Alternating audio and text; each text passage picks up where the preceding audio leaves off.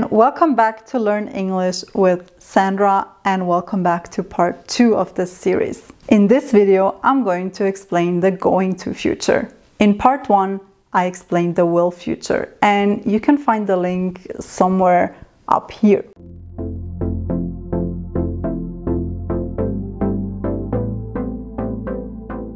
We use the going to future when we talk about plans. Let me give you some examples.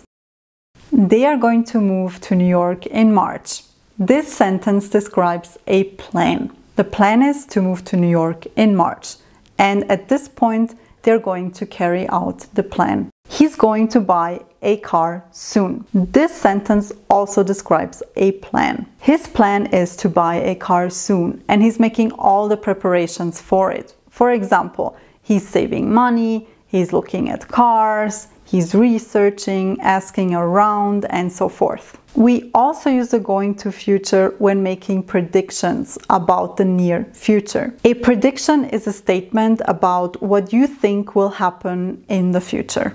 She's going to be a brilliant president. After the election, a person shares their opinion about the new president, and their opinion is that she's going to be brilliant. I'm going to have a hard time falling asleep after watching this movie. This person has just watched a really scary horror movie and can now predict that he or she will have a really hard time falling asleep.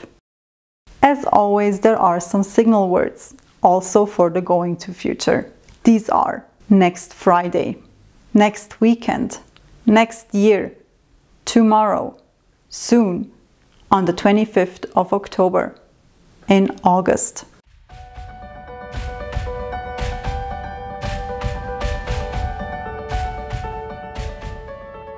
We use the going to future when we want to talk about plans. They are going to move to New York in March. He's going to buy a car soon. We can also use it when making predictions about something in the future. She's going to be a brilliant president. I'm going to have a hard time falling asleep after watching this movie. Hope this helps you. And as I said, if you need more support, please visit my website and don't forget to subscribe down below. See you soon.